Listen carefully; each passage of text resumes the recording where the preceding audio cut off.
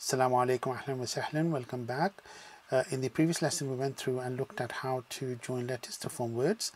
In this lesson we will look at vowels. Uh, we'll understand how to correctly pronounce the Arabic words.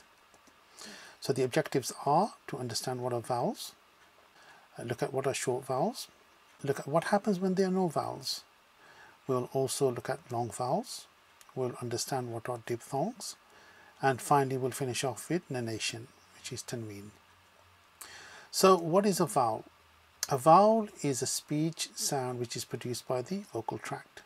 All English words are written with a vowel letter in them. And in English, five of the 26 letters are vowels, which are A, E, I, O, and U. In Arabic, they had no vowel signs. And because of this, non-Arabs found it difficult to read correctly. Uh, and the lack of vowel sounds also created uh, more ambiguities, uh, more confusion. So if we take the example here, we see the letter kaf and the letter ta and the letter ba. When we join it together, it looks like this. Now this shape here has got two different meanings. So for instance, here we go. If we, it can mean kataba, can be pronounced as kataba, which is he wrote, but also as kutub, which is books. So the question then is, if we see this written somewhere, how will we know which one of the two, sorry, not three, which of the two it is? Is it kataba or is it kutub? I suppose you could look at the context of the word, um, but you'd have to work that out. So because of this, vowels and hamza sign were added to the Arabic language. Um, so here we've got the letter when we put the vowels on the first one. It looks like this. So the three fathas so it's kataba. And we'll cover what fathas are in a minute. And the next one if we had here this is so when we read when people who can read the Arabic language with the, with the vowel signs on them they'll be able to correctly pronounce what that word is. Okay? So six vowel signs were added to the Arabic language. Three were short vowels. And three are long vowels and then we also have two diphthongs. Every consonant is provided with a vowel sign, uh, normally often not omitted in writing. Um, and vowels are not used in Arabic books and journals unless the pronunciation of a word needs to be precise. So the vowel is often referred to as haraka, which is movement. And the consonant with the vowel is called a mutaharrik, which is moved. And then we have instances where there's consonants with no vowels. That's called sakin, which is resting. So the short vowels are written as signs above or below the consonants to which they belong. So you'll, you'll always see the, the vowel signs either above or below, but never ever to the side. Okay, so the first one is the line above, which is called fatha. Next one, we have the line below, which is called kasra and then we have the dhamma on the top which is like the vowel small vowel. Okay? So these three are what we call short vowels. Then we have an instance when there is no vowel. In that case you will see this letter here which is called the sukun. Okay? So if we look at the first one which is the fatha fatha is a small diagonal stroke above the consonant. Okay? It's always above okay? And it makes the a sound just like the letter a in the english language. So if we take the word man the a helps create that ma sound okay? Uh, similarly in arabic when we put the fatha on top of a letter it makes the a sound. So if we take the letter ta ta and we add the a is ta and the letter jim and a at the end the fatha it makes ja okay so let's go through the letters the first one is the letter alif a next one is the letter ba ta tha ja ha kha da ذا را ز س ش so, the, the, the, a, r, f, q, k, l, m, n, p, w, and yeah. Okay, so next we have some examples. Okay, the first one is ka ta ba kataba next one is a ka la akala next one is ta ra ka taraka so attached to this uh, video, there should be a link to a document that shows you the following letters that you can download and print. And what it does is covers all the letters with the fatha on it. And on here, it shows you all the letters, all the naughty letters, all the emphatic letters, all the way to the bottom. Okay, so what I would say is use this to do the exercise. And on the second page, we have uh, some exercises that you can do uh, at the same time. So what I would say is go through and read these. So ra, uh, but at the same time then for uh, for each word uh, do the joining exercise. So here we would say the qaf then the ra and then the alif. So qa okay? And then you can do that all the way along uh, and then go on to the second one and all the way through to the bottom. If you get stuck uh, drop me a line or a message and then inshallah I will help you out so what I would say is let's use those sheets to help you with these exercises. So let's do the first one, which is qa, ra, a. So do it slowly first and then speed it up. Okay, qa, ra, a, qara'a. Next one is ka, ta, ba, kataba. Next one is a, kha, the, akhada. Next one سجد سجد next one ركع ركع next one is أكل أكل okay next one is نزل نزل next one مسح مسح next one. ذهب ذهب. Next one. جلس جلس. Next one. رفع رفع. رفع. Next one is غسل غسل. So next we have the kasra. So the kasra is a small line below the consonant and it makes the E, I or E sound, E sound um, as in the letter I in the English language. So if we did letter in the word did, D, D, in the same way, the kasra makes the E sound. Okay, so here is T, G. Okay, let's go through the letters.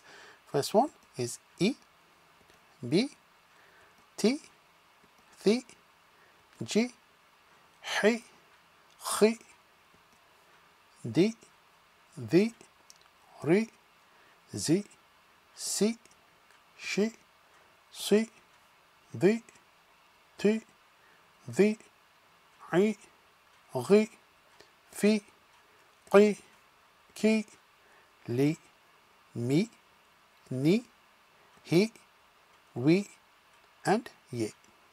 Okay, let's go do some more exercises. So the first one, now we're going to do the combination of the fatha and the kasra. So the first one is ha, mi, da, hamida. Next one is kha, shi, ya, khashiya. Next one, sa, mi, a. سمع next one is فهم فهم next one لا عي ب لعب next one is خ سير خسر okay next one حمد حمد this one is خشي خشي next one سمع سمع next one فهم فهم لعب لعب and finally خسر خسر okay next one is حفظ حفظ next one شرب شرب next one لبس لبس next one is فرح فرح next one is صحب صحب and finally أذن أذن okay so that's حفظ شرب لبس فرح صحب أذن okay next we have the letter dam, uh, the dhamma okay so which is like a small vowel above the consonant okay and the vowel it makes the u sound as the letter u in the English language so uh, if we take the word bull the u helps the b become bu in the same way. The dhamma when you attach it onto a consonant it makes the u sound. So here we go. To ju. Let's look at the letters.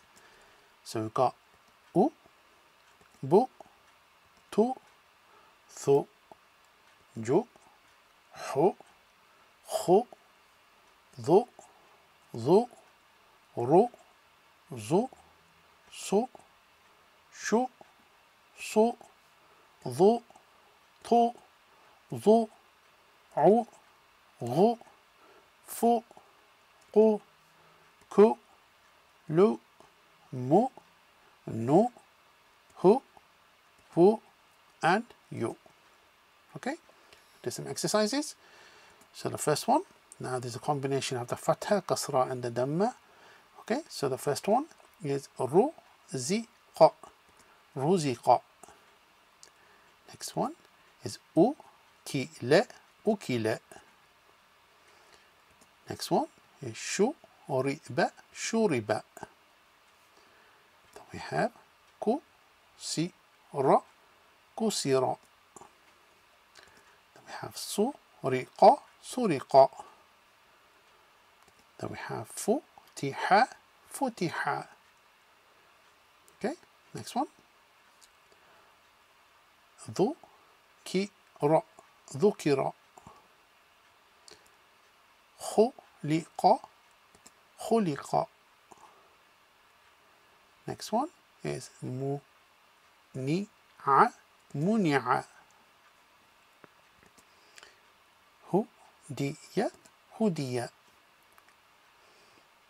Next one is Hoshiro. Hoshiro. And finally, we have Ya'idu. Ya'idu. Ya'idu. Okay, so we've covered the fatha, the kasra, and the dhamma.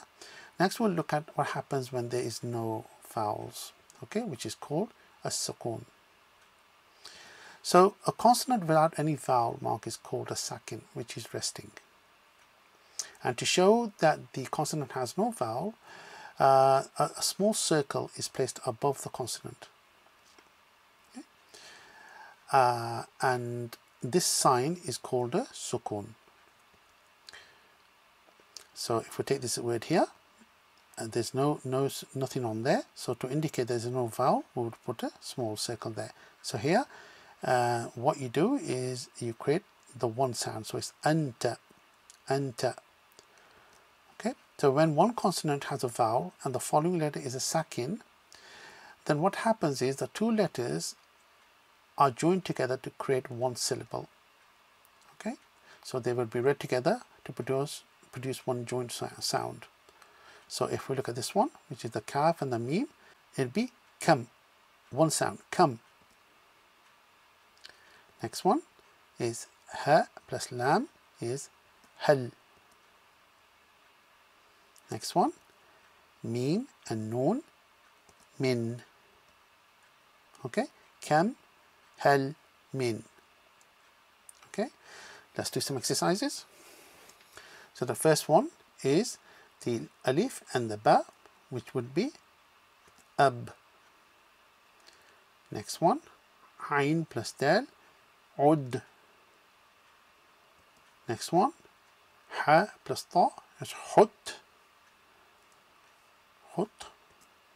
Next one is هل. Next one is من. Next one is hid.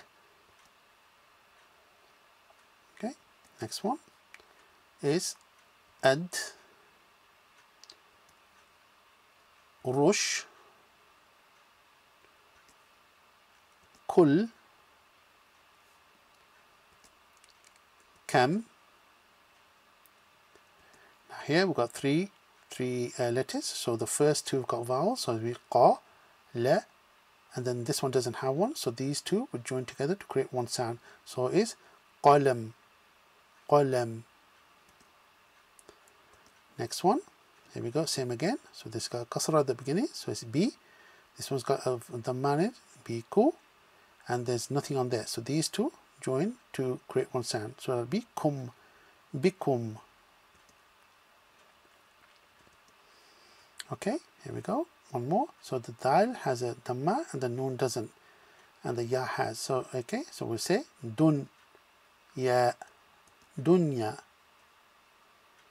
next one is alif plus ba could create ab and now here you don't see one on the dod normally what happens is if you don't see a vowel on the last letter assume that there is a sukun there so here it'll be ab yad abyad Next one is tarham. Tarham. Next one is yarfa. Yarfa. Next one is yaqra. Finally we have afham. Afham. Okay, so that's it. Um, finally, we'll finish off with something called diphthongs. Uh, that's why you want to know what diphthongs. So, a diphthong is a sound made by combining two vowels together, especially when it starts as one vowel and goes into another. Uh, for example, when we look at the word oil, the oy, oy sound in oil is taking the two vowels, oi, oi, oil so that's two vowels and what that's creating there is called a diphthong.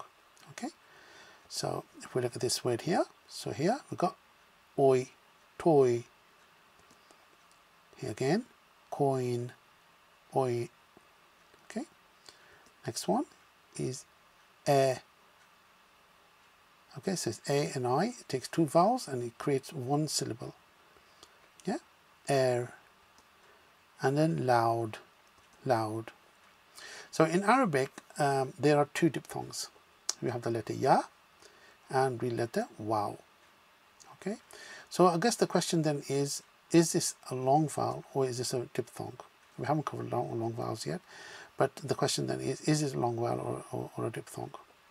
Uh, and what there's, there is rulings. Okay, so when there's a fatha before the ya or the waw, um, and the letter, the ya or the waw has a sukoon on it, then it's a diphthong. Okay, so these are the two rules. One, whenever you see the fatha before the letter, and then one of these letters has a ya on it, a sukoon on it. Okay, so let me show you, I can give you some examples. So here, the ya diphthong. So here we've got the letter kaf and the ya. So the ya has a sukoon and the letter before it has a fatha. So this would create the AI, which is K, K, F, yeah, K, F, K, F, here is a diphthong. Next one is khair, khair, yeah. So th these create the AI, um, AI sound, okay, and that's the same whenever there's a ya and the fatha before it. Okay, next one is again bait bait AI AI AI next one أين أين okay so كيف خير بيت أين okay so the ya when it has a, a sukun on it and the letter before has a fatha it will be an AI sound أين كيف خير بيت أين okay Next we have the waw diphthong.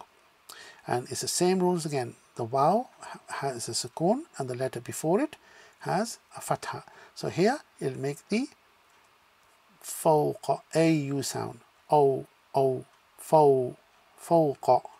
Okay, above. Here it'll be psalm, psalm. So it creates the au sound, o sound. Okay, next one is yom, yom. And finally, we've got. Okay, fawqa, som, yom, kawthar. Okay, so that's the two diphthongs. Um, and that's the end of this lesson. What we'll do in the next lesson is go through and show you how to do the long vowels. Okay, thank you very much.